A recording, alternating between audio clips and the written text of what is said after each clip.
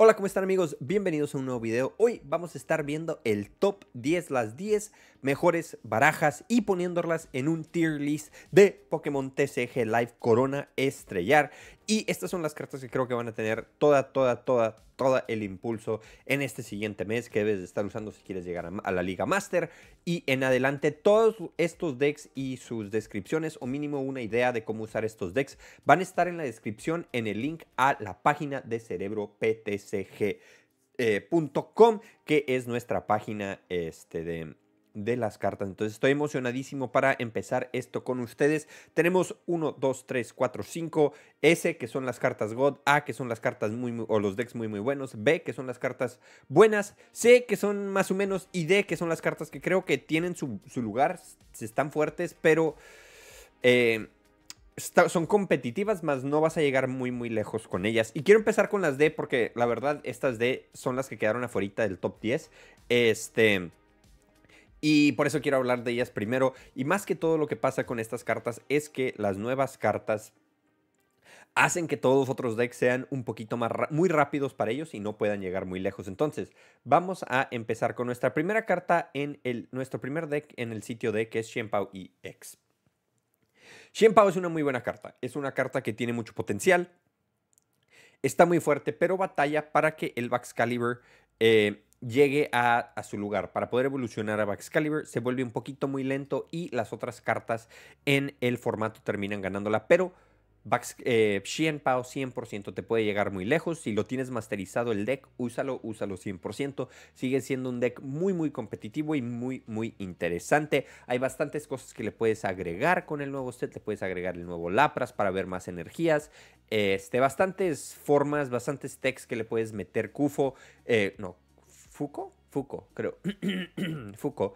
Este, le puedes meter eh, para tratar de, acelerar un poco el paso, pero creo que Pao, si lo juegas como siempre lo habías estado jugando, no hay muchos cambios aquí y por eso queda en la D. Después Ancient Box. Ancient Box creo que es un deck muy, muy, muy, muy bonito, muy, muy fuerte, muy divertido de usar y que vale 100% la pena probarlo este, un deck de una carta de premio que vuelve, eh, que rompe un poco los números. El problema que tiene Ancient Box es que ahora existe eh, nada más y nada menos que eh, Briar, Miss Briar, y eso puede causarle unos cuantos problemitas a este deck si se están tomando cartitas de premio y tú le estás tomando de uno por uno y les quedan dos cartas de premio, ellos te pueden dar la vuelta increíblemente rápido este, con sus decks. Entonces el Briar puede causar unos problemas para, para este. También el Cinderace CX puede tumbar a tu banca muy muy rápido. E, y puede ser un poquito lento de eh, acertar. Al igual el Brahma Luna. Queda en, el Brahma Luna y el Turbo Brahma Luna. Eh, más bien conocido, más bien dicho.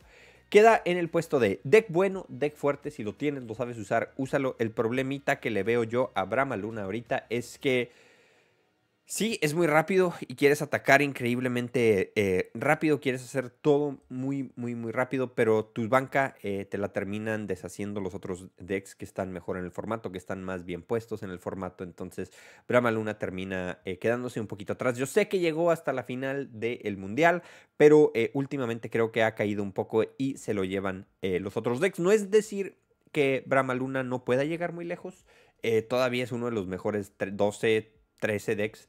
Eh, es más, si las tendría que poner, yo creo que los pondría así, eh, con Brahma Luna siendo el más cercano a el top 10 eh, de los decks de ahí en adelante. Entonces, muy, muy buena carta, muy, muy importante carta, este, muy saludable que esté en el juego, porque los decks turbo son muy, muy, muy divertidos. Ahora vamos a irnos de derecha a izquierda y vamos a ir poniéndolos en el rank como los vamos viendo. Charizard DX, ese Charizard EX con el nuevo Dusknoir está increíblemente roto. Eh, se puede acomodar a brillar el solito. Este, entonces lo que hace es tú te quedan tres cartas de premio, usa a Dusknoir, eh, lo baja, te baja dos cartas de premio, luego usa brillar y con eh, el Dusknoir te mata un Pokémon, por decir a un Greninja Radiante o a un Bidoof, te mata un Bidoof más bien y luego con tu... Eh, y se lleva una carta de premio. Y luego con el eh, Charizard te mata tu Pokémon EX en juego y se lleva otras dos cartas de premio. Otras tres cartas de premio. Y estamos hablando de llevarnos cuatro cartas de premio en un turno. se vuelve increíblemente roto eh, el comeback, o sea, la forma de regresar con este deck está increíblemente fuerte, muy, muy, muy divertido, muy roto, Charigot. Chari sigue estando aquí, no se va a ningún solo lado. Después tenemos a Snorlax. El stall de Snorlax... a o B, A o B. Creo que en B. Lo vamos a dejar en B. Snorlax Stall sigue siendo una de las mejores counters a toda la meta. Está increíblemente fuerte, increíblemente divertido de jugar. Este, el problema es que bastantes cartas llevan este, un Em, una colonia neutralizadora para poder cancelar tus habilidades y hacerte la vida un poquito más difícil. Ya no funciona también el Mimikyu, ya no funciona el Snorlax y te pueden matar con esa carta en sí. Entonces se vuelve un problemita y también hay muchas cosas que pueden atacar a nuestra banca. Entonces si no tenemos al Manafi, el Jirachi o un Rabasca listos, este puede, podemos causar Puede haber problemas con jugar Snorlax en que nos tumben a nuestra espalda, pero creo que en la B sólido, un deck que todavía puedes desesperar a tus enemigos, especialmente si llega, si todos empiezan a, pensar de que, wow, yo quiero mejorar a Terápagos, quiero mejorar a, a Dragapult, a, a Miraidon, estoy bien emocionado de hacer todo esto. Tú les avientas un Snorlax, se les olvida poner la colonia neutralizadora y no tienen forma de darte la vuelta Creo que es un deck increíblemente sólido que merece estar en el puesto B. Terápagos y X. Creo que Terapapi, al Terapapi me gusta, me gusta bastante el Terapápagos. Este, siento que este es el que estoy tratando de usar para llegar a Master. He encontrado varias formas. Lo voy a poner en el puesto C. Eh, hay tres diferentes decks que puedes usar con Terápagos. Eh, terápagos Tanque, Terápagos Control con Pidgeot y Terápagos con Palkia. Eh, ese termina siendo un deck más de Palkia, pero Terápagos con Palkia y también Terápagos con Zoroark. Entonces hay cuatro que puedes usar. Este, y creo que todos, de todos, el que más eh, fuerte se me ha hecho es el de Palkia o el de Zoroark. Los otros decks creo que les falta algo. Tienes que llenas mucho tu banca y te la te, abres mucho a que te puedan traer a Pokémon de tu banca, matártelos. Este, si no estás usando la habilidad de control de terápagos, nada más haces 240. Este, necesitas tener al Dosnar ahí para poder subir ese daño y que sea un daño importante y puedas matar, por decir, a Charizard en un solo turno. Entonces creo que por eso Terápagos se va a quedar un poquito atrás, pero un deck muy divertido, un deck nuevo. Creo que es la única cara nueva que tenemos aquí. Todos los otros decks usan cartas que vienen en este deck, eh, en esta lista, pero eh, ninguna es una carta, carta 100% de esta nueva lista. Entonces creo que Terápagos va a estar aquí por mucho tiempo. Es un deck que vale la pena masterizar. Puede subir al, al B o al A. Este, si encontramos una lista ideal para él, a lo mejor la de Swordworks termina siendo una ideal o la de eh, Palkia termina siendo más ideal y pum pum empieza a subir. Pero creo que por lo pronto, porque no hemos visto muchos resultados con él, vamos a tener que dejarlo aquí en el puesto C. Regidrago Biastro. Regidrago lo vamos a poner en el A, simplemente, fácilmente en el A, porque podemos usar el ataque de Dragapult, podemos usar bastantes energías. El único problema es que no podemos eh, usar la, el nuevo cristal eh, que es una herramienta que nos deja atacar, que deja a nuestros Pokémon EX atacar por una carta menos eh, de cualquier color. Entonces, si pudiéramos usar esa, esa especialidad con este Regidrago, creo que sí le daría bastante lo dejaría en, la S, pero como no la podemos usar, tenemos que seguir acelerando las energías como las hemos estado acelerando con el... Em, con los interruptores de cambio y nada más y nada menos que Pony X. Se queda sólidamente en el A, está fuerte, va a estar listo para atacar, no va a haber ningún solo problema con él. Después tenemos a Miraidon. Miraidon EX lo vamos a poner en el puesto B, un poquito abajo de Snorlax. Creo que esta es la posición exacta para Miraidon EX, el Miraidon EX con el nuevo Mew. Este, lo que haces es usas a Miraidon EX para traer a el Mewtwo, perdón, el Mewtwo que es eléctrico, lo bajas, después pones caverna em, eh, cristal cero eh, undergrounds este, eh, el estadio que te deja poner 8 Pokémon en juego si tienes un Pokémon EX en juego. Después llenas tu banca con los Miraidons. Pones a un em, Raikou, le pones dos energías eléctricas y estás paz, paz, paz, paz, paz, haciendo un mundial, un mundial de daño con este Raikou. Pues un deck turbo es un deck que lo quieres asegurar en el primer turno hacer todo traer, sacas un Miraidon, con ese Miraidon traes otro Miraidon y al Mew, después, eh, digo, y al Mewtwo, con eso expandes tu banca, con el otro Miraidon traes a otro Miraidon y al... Em, y al Raikou, subes al Raikou, saca y luego con el último Miraidon que trajiste pones a otros dos Pokémon eléctricos en juego. Este ahorita es B, con un potencial increíble para irse a OS, especialmente cuando salga el nuevo Pikachu, porque ya no vas a tener que usar al Mewtwo, vas a usar al nuevo, al nuevo Pikachu en Surging Sparks y ahora vas a tener un Pokémon EX Terastal que te deja atacar y también te sirve para expandir eh, o hacer la banca más grande junto con el nuevo Magneson que te deja poner rescatar energías. Miraidon va a estar más roto, va a seguir roto. Estoy muy emocionado de seguir viéndolo, pero por lo pronto va a quedar en el puesto B. Gardevoir EX. Gardevoir creo que queda en un lugar muy similar a donde estaba en antes del mundial. Un deck sólido, un deck increíblemente fuerte, un deck que eh, termina un poco lento. Hay unas em, unas personas que lo están haciendo un poco turbo para tratar de atacar un poquito más rápido con los Driflums y los colagritos, tratando de descartar más cartas este, y mover tu mano un poquito más.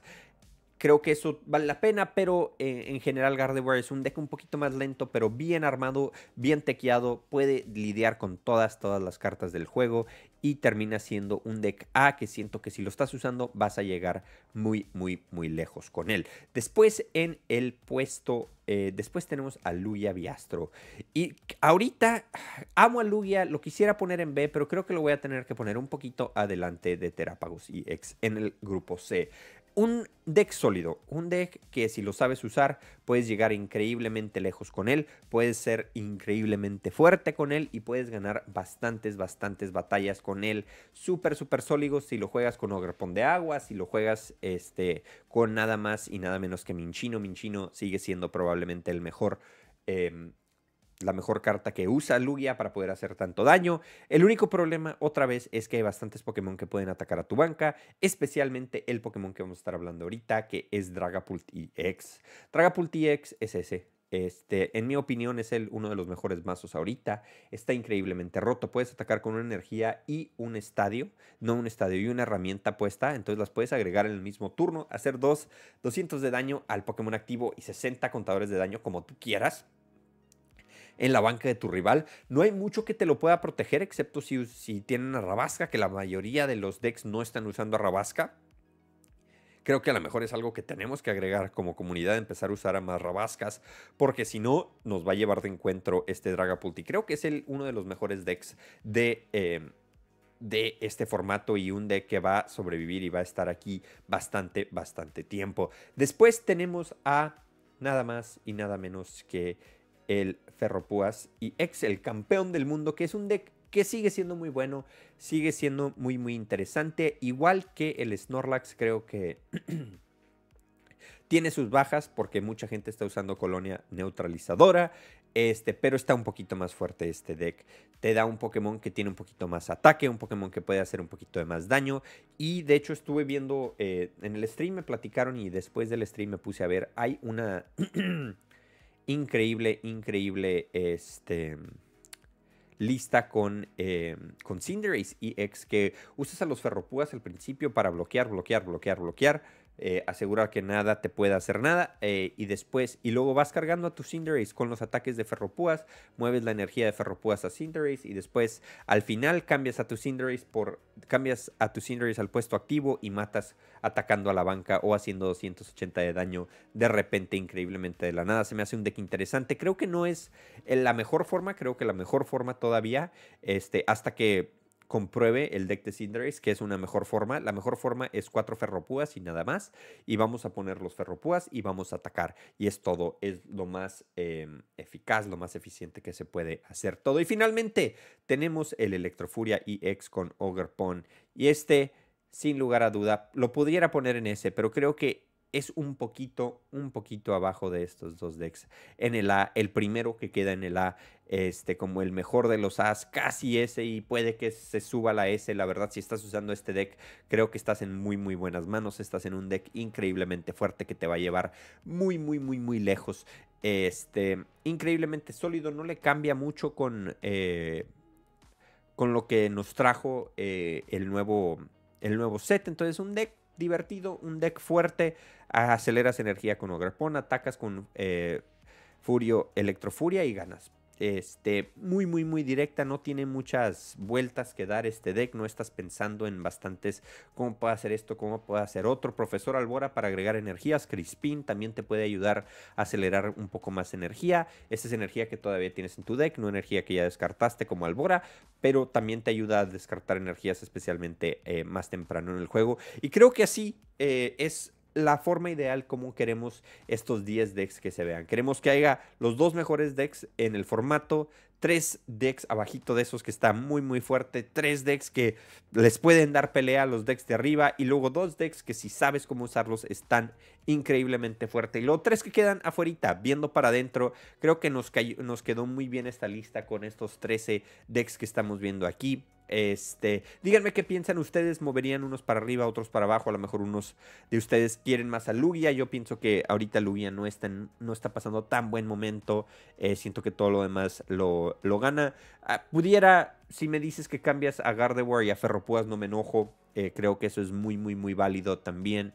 Eh, o que subes a Electrofuria al grupo S, estoy de acuerdo, es el tercer mejor deck en el formato, más no sé si sí lo suficientemente bueno para que esté aquí arriba. Pero bueno, amigos, díganme de qué versiones están usando de estos decks, qué decks les gusta más, qué decks creen que debía haber agregado aquí a la lista. Este, recuerden, estamos tratando de ver los 10 mejores decks, entonces si me expandía mucho los Goldengos, este, los Cloths, todos esos decks, sí están súper interesantes, súper divertidos, pero no ya cuando a varias repeticiones ya no llegan al nivel de estos. Entonces, tengan eso en mente antes de que comenten qué, qué deck les hubiera gustado. Pero por favor, me gustaría saber qué decks quieren saber, eh, qué decks les gustaría a ustedes que estuvieran en esta lista. Dejen su like, suscríbanse si no lo han hecho todavía. Listas para todos estos decks.